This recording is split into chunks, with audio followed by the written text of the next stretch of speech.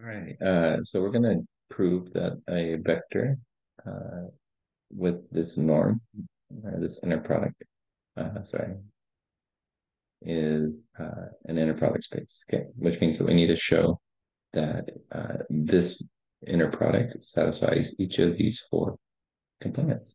Okay. All right. So first one, we're gonna let U and V be from the space with this norm. Okay, so we have to show that this is the case. Um, so we have U and V. What's going to equal U1, V1 plus dot dot dot plus UM VM. Okay, and since each of these elements are coming from the reals, then we know that they are uh, they satisfy the